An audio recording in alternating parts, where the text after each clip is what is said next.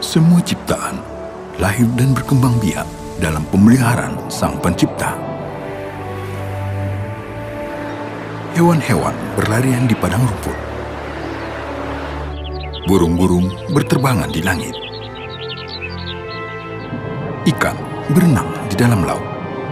Ada prinsip mutlak yang tidak bisa dilawan.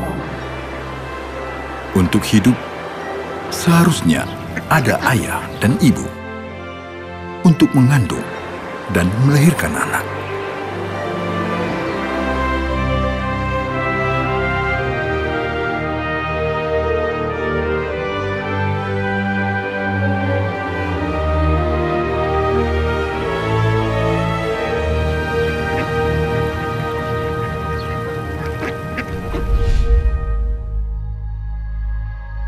Setelah sperma berhasil bertemu dengan sel telur, embrio ditanam di dalam rahim.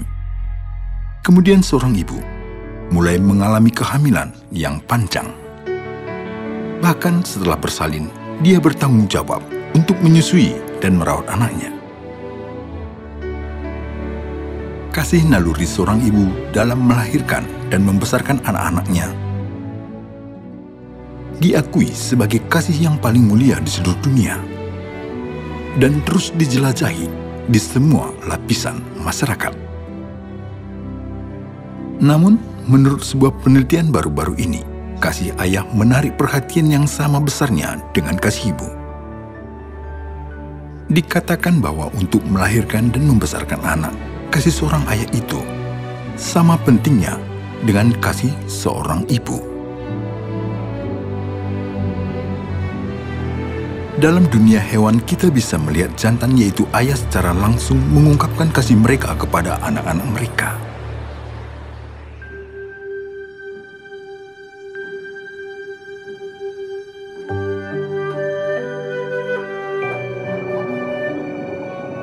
Kita bisa melihat fenomena yang sama dari ikan-ikan di laut. Kasih seorang ayah kepada anak-anaknya tidak berakhir. Betina membentuk telur dan meletakkannya. Kemudian, jantan membuat sarangnya untuk melindungi telurnya sampai menetas. Beberapa ikan tropis membawa telur di mulutnya sepanjang hari untuk melindungi mereka dari pemangsa.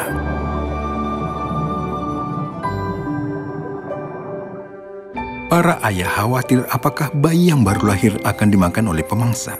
Mereka meletakkan anak-anaknya di punggung mereka dan menjaganya dengan perhatian dan kasih besar. Para ayah akan dengan sepenuh hati menjaga anak-anak mereka sampai mereka bisa bertahan hidup sendiri dalam pertempuran sehari-hari di habitat yang disebut alam bebas. Cinta dan pengorbanan seorang ayah akan membuatnya menawarkan seluruh tubuhnya untuk anak-anaknya di dunia pemangsa yang ganas. Meskipun mereka tampak seperti makhluk kecil, dari manakah datangnya kasih yang agung ini?